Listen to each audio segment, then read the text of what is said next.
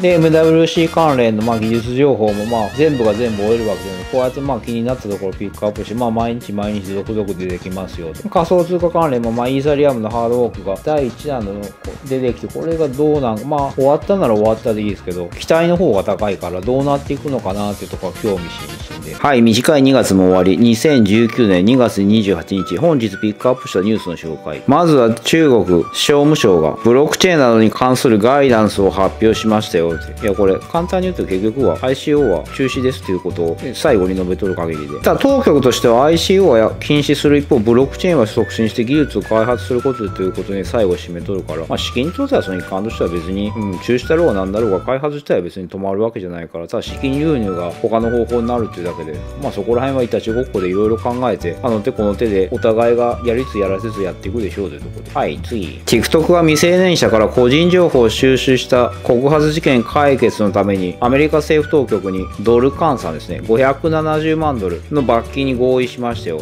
要は13歳未満のユーザーから名前やメールアドなんか個人情報を収集する際に親の同意を求めてないということがこの焦点になったということで、テンセントのゲームなんかもしかりで、ここら辺の未成年とか年齢の区切り、まあ、国ごとによっての境目と法制定というのがなかなかあれですよねと。逆に親が同意すればいいのかっていう話もまたなってきますから、そこら辺の偽装とか、ね、中国のあの、漢字書くロボットでやったっていうあの、スーパー女の子みたいなことも、うん、そういうのは普通に考えると思うから、まあ、いずれにせよそれだけ子供の中にアプリなりスマホベースが浸透してるってことの証明ですよねと。はい、次。韓国チェズ島がブロックチェーン特区説明会開いて、5月にはブロックチェーン規制の自由特区指定を申請すると発表しましたよ。本当にここはガッツがあるというか、もうここ本当に何でもありとは言わんけど、開発的経済特区、まあ、マルタじゃないけど、そこら辺を目指すような、本当ハブ島を推進するというところで、国内にそんな島があると本当あれだよなって、うん、強みというか、いやいや面白い限りです、本当に。はい。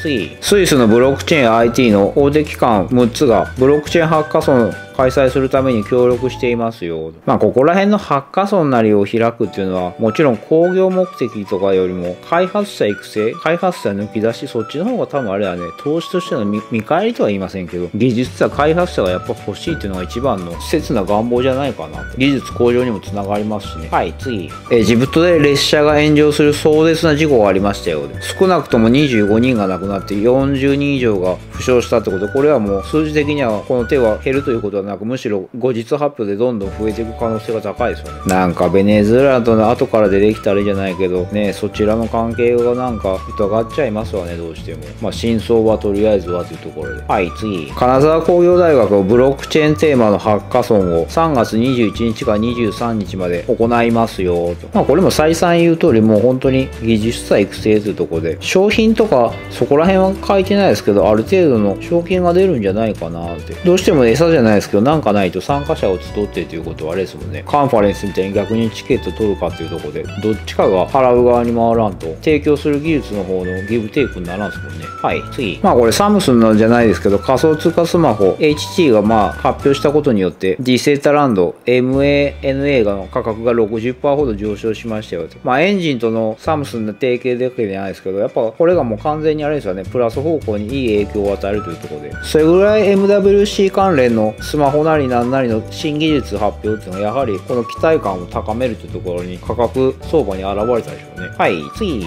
インドのマルチ鈴木とデリー警察が提携し、赤信号違反検知システムとスピード違反検知システムを設置しましたよ。要はもうこれ初期の頃から提案しとる通り、取り締まりなんかを全てサーバーベースで送って、そのまま警察を送っちゃえば、そ、そこに関わる警察なんかに関する処理手続きを簡略化して時間削減し生産効率上げれますよねってとこで。これがまさにそれとやっとるとこと一緒で、まあ、違反の証拠や反則切符なんかを SNS、メール、郵便なんかで、まあ、車両所有者に送付しますよということ。さらにそこへ 5G 絡めてブロックチェーン載せていけばというところが、まあ、現在の誰でも考えるような提案ですよね。とりあえずデリーの環状線に9箇所設置して、まあ、一日中稼働してるってことだから、まあ、本当人間動かなくていいでいいですよねということです。はい次 MWC で発表したソニーのワイヤレスイヤホン SBH82D の開発秘話を聞きましたよという話でこれノイズキャンセルだと耳から流れる音は鮮明に聞こえるけどこの外部の音が聞こえんから飛行機の着陸離陸それが聞こえんぐらいの性能だから危ないっていうのは車なんかにとても使えるレベルじゃなくてイヤホン通した音も鮮明に聞こえるんだけど外の危険音も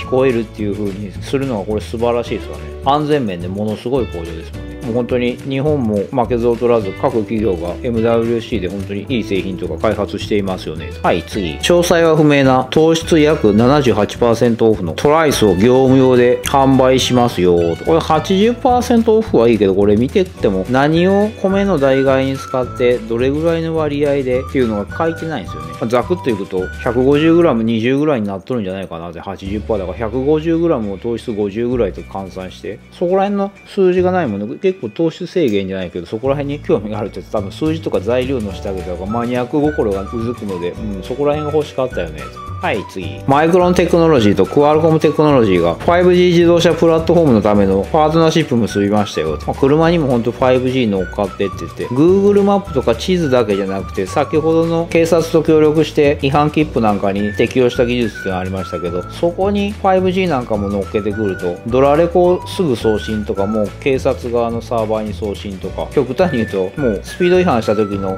切符代金までそこで払っちゃうとかアリペイとか絡めるとか。でさらにブロックチェーン絡めて改ざんできんくなる、まあ、そうするとハックされるとかまたそのセキュリティ的なももちろん話にはなりますけどここら辺も本当かなり改善してそこに保険なんかも絡めてくると本当人間の出番がだんだんなくなって楽できるよなと。いい意味でですよ。はい。次、まあ、こちらも 5G 絡みで続きますけど北京の天安門広場で 5G をカバーしていますよ。アップロード速度が200メガダウンロードが2.6もう少しなんかスピード的にあるのがいやもちろんこの数字に慣れちゃってなんかま麻痺化しちゃうっていうのはあかんですけどまあテスト段階っていうことだけどそうですよね。本当重たいデータじゃないけど。やっぱ 3D チックなデータ動画なんかでも本当に 4K なんかを撮った瞬間に本当サクッと送れるとかそんな風になっちゃうんですよね。でそこでネット料金が安価になっていくと本当に目まぐるしい世界情報がなんかリアルタイムで流れてしまうといういい意味でも悪い意味でもというところで。まあまあ世界的に 5G 期待していますよはい。次。パキスタンがインドの航空機を撃墜しましたよ。ここの RT のこれサイトよりどっちかというと動画の方で見るとあれなんですけどこれの世界的の特に日本から離れた、まあ、ロシア方面というか、まあ、きな臭いことやっとるところのニュースなんか本当即座に出とって確かに動画時代じゃないですけどニュース読むよりあれ言語がわからなくても映像見てれば何を起こしとるのかってね本当わかるよなこういうきな臭を近場とかトークとかで被写体として撮っとるってとこがすごいですよねもうこれ。だから本当 5G になるとなんか世界筒抜け丸抜け何もかも分かりますよみたいな感じになってきますよね。はい。次。クリプトピアが1月のハックで双方有料の約10%弱を盗まれたとついりましたよ。あんだけ連鎖的にやられると本当は本当セキュリティ的に多分抜け穴がハッカーにとってあるから本当にパチンコの攻略法を見つけてじゃないけど本当に落ちとる球拾ってるような感じで攻撃しとったんでしょうねこれは。なかなかこうなるとちょっと立て直しは難しいよなと。はい。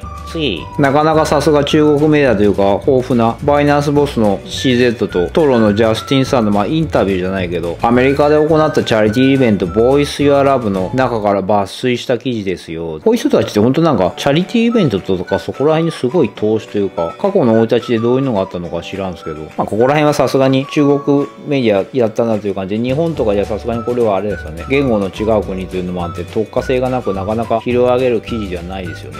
まあ、ちょっと詳しく読みたいなという限りで。はい、次。ブロックチェーンスタートアップ、ニバーラが、ロンドン証券取引所 LSEG がリードするラウンドで2000万ドル資金調達しましたよ。ラウンドの他にはサンタンデールなんかも入ってて、これ結構、名売れじゃないけど、なかなか注目すべきとこが投資していますよね。まあそろそろここら辺もあれですね、下火を抜けると仮想通貨にもこの投資じゃないですけど、資金流入が、うん、想像以上に流れてくるでしょうね。はい、次。東芝が自動車用のアプリケーション画像認識チップの開発成功したことを発表しましたよと。初期の頃と比較してディープラーニングアクセレーターの速度が10倍、電力効率が4倍という。この技術的な詳細は2月19日のサンフランシスコ IEE で発表されましたよと。なんか俺目に見えんとこでこういうのをいろいろ開発しとんですね。全然これ知らんかったですわ。なんか日本だからってあんまり別に全部が全部日本のことを晒しとるわけじゃないですもんね。はい、次。ジブラルタルブロックチェーン取引所 GBX がお店5をサポートしましたようで。今まではなんか扱ってなかったのが不思議だなってぐらいで。まあアメリカドル、ビットコイン、イーサリアマなんかのペア取引できますよと。まあ単純なリストアップ上場サポート情報でした。はい、次。これ別に取り上げるべきじゃないんですけど、ただここの写真に出てるこの海士の市役所、木田にあるんですけど、これが生まれ故郷というか非常に近くて馴染みあるので取り上げましたけど、まあ元課長が収賄で逮捕されましたよ。まあ工事なんかの見返りになんか大したもんじゃないもんもらったみ、それでなんかし捕まったって言われるんですけど、で、発注したこの尻尾グラウンドの高級ネット増設工事で、このグラウンドも知っとるんですよね。小さい頃から馴染みあるというところで、まあそんな感じで取り上げました。あんまりこうニュースでなんかあれですね、自分の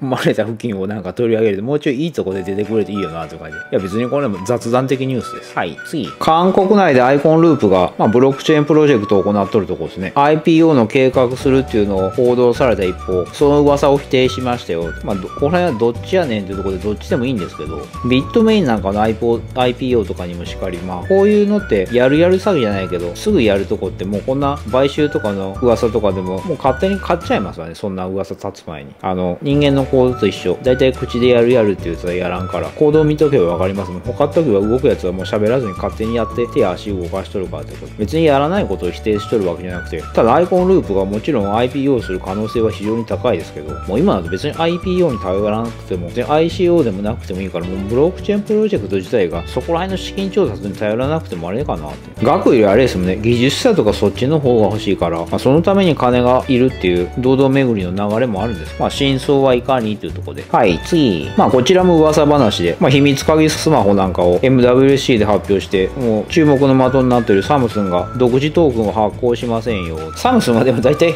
否定してきたことは全部なんか肯定的に表面で取るからどっかと提携しとってももうおかしくないですよね。てかそれぐらいのことやれると思うし極端に言うとアップルが独自のブロックチェーンスマホなんなり作ってアップルコインとかまあそんなダサい名前でもいいからやっていくとそこら辺を経済圏におけて要はアップルのアプリの支払いなんかそのと含めて全部、まあ、もちろんアップルペイでいいんじゃっていう話にもなりますけどトークンエコノミーになれると分かっとるからまあやろうとしとるもしくはもう動いとっても必然ではないよなって。まあ火のないところに煙が立たないじゃないけどまああってもおかしくないと考えています。はい次。これは知らんかった面白いということでロサンゼルスの病院が100種を超える病室で Amazon エコースピーカー導入していますよ、まあ、これは Amazon に情報が流れるとかそんなネガティブ的に考えずにプラス的に考えて情報を共有してそこに 5G なんかの回線で高速にして何かあった時の連絡なんか全て本当に手が動かせない人とかでも音声でいけるとかまあ口が動けないって言われたら困りますけどいい感じでスマスピが既存生活に導入してきたよな一番例ですよね。医療なんかに本当に使いやすいですよね。こうすると本当に介護施設じゃないですけどまあ何らかの障害抱えてる人なんかでも、うん、使いやすいなってきて本当そういい意味でデバイスが有効活用されていくと、うん、面白いですよね。はい次。フォビグローバルがテザー USDT のイーサベースをサポートしますよ。これ知らんかったんですけど今までビットコインベースでイーサベースとはなんかこれかなり違うんですね。これ全然知らんかったですわ。テザーは数回取引したことあって直接はあれかな。ウォレットには多分入れたことないですよバイナンスかどっかでやったことあるぐらいだからうんこれは知らんかったなって。なんか次回の意を込めて自分へという向けた感じで。はい次。まあアメリカ北朝鮮首脳会談開催しアメリカと韓国が軍事演習を凍結した場合のみ北朝鮮が非核化の合意を発表しましたよ。まあこの首脳会談はもう目まぐるしく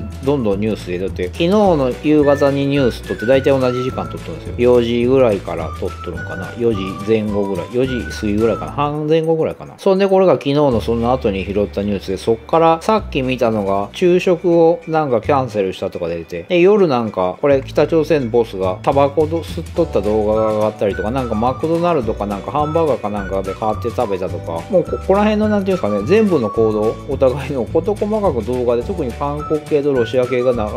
しとるんですよ。アメリカ系よりこっちの方が多いですね。やっぱりハノイでやっとるってことで手が届きやすいんですよ。それは遠いですもんね単純にアメリカから考えて距離的な問題も含めて。これはもう本当にニュースで見るよりニュースっていうか活字のニュースで見るより動画をある程度チャンネル登録していくともう勝手に流れて流れてくるというかピックアップされるからそこから見た方が早いよなって。言語わからなくても何やってるかわかりますよ。ただこれ会談の内容内容というか喋っとるの見とって北朝鮮のボスってなんかあんま言っとること分かっとんかなってなんか薄ら笑いじゃないけどあんまなんか内容を理解しないような顔しとるって単純に感じたんですけどね見とって。はいでは次。仮想通貨マイニングのコインヘイブが4月にもサービス終了予定ですよ3月8日もってマイニングサービス終了し、それ以降はマイニングは停止する一方、ダッシュボードなんかは4月の最終日まではアクセス可能ですよって。まあもう当たり前ですけど、モネロの価格が下落したってことが一番の、うん、原因ですわね。逆に言うと価格上昇さえあれば、どのトークンなりも開発はできるってことだから、この下落相場の中で開発が続けていくっていうか、影響なくやろうとする信念じゃないけど、資金じゃないけど、そこら辺があるっていうところが最終的にまあ残っていくトークンなんかなって。ふるいにかけられとるっていう状況ですよね。はい、次。とりあえずこれスプートニクでしか見てないんですけど、ベネズエラのラグアイラ倉庫で15日火災が発生したのはテロリストによる行いでしたよということを表明しとるんですけど、他のメディアとかないけど、まあでもこれ、まあラテン系だから一番近いですし、まああったとしても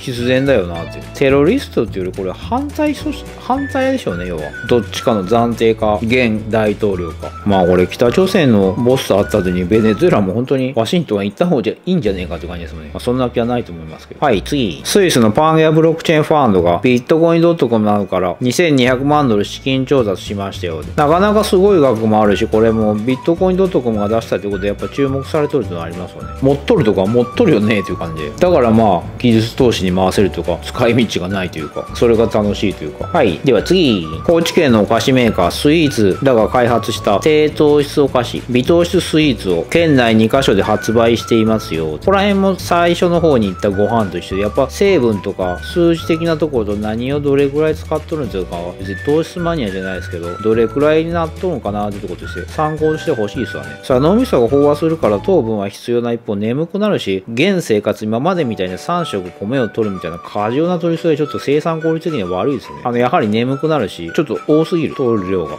取るなとは言ってる中で、なしではないですかね。減らしすぎたらあかんで。ただその中で甘いものなんかを美味しく食べられるようにっていう開発は、うん、別に低糖質だからって率先しとるわけじゃなくて、うん、続けてほしいですよね。期待してますよという意味も込めて。はい、次。イギリスが EU から離脱できなかった場合、離脱期限の延期を問う提案を可決しましたよ。もうこれ、民主主義はじゃないけど、本当に患者のまま動く多数決で決めとっては、患者のまま流れていく多数決に流されてことで、まあどっちでもいいんですけど、結局は。国の方針がやり方が気に入らんっていうか、阻んだったら、本拠地を変えやいいだけですからね。ただちょっと本当に全部が全部一と含めた多数決主義は、これはちょっと本当に選挙制度含めたもう改善していく内容ですよね。いや、理由は本当に言っとる通り、感情に流れて、なんかバカの方に投票する、あわわわわ状態が続きますからね。はい、次。カカオが韓国100年間キャンペーンなど含めて、最大3000万ウォンを寄付するキャンペーンを行いますよって。約300万万ってことでいいんですかね。ウォンカンさんだから。まあ、カカオも本当に、テンセントやバイドゥじゃないですけど、やっぱ国と本当仲いいよなっていう感じが、うん、見受けられますよね。はい、次。まあ、カカオ続きじゃないですけど、フィンテック企業テラが、カカオベンチャーズやカカオインベストから戦略的な投資誘致しましたよ。投資金額は非公開だそうです。まあ、このテラのステーブルコインを利用してどっちかとクレートになんか巻き込みたいというか、共有したいという狙いのが多分でかいんじゃないかな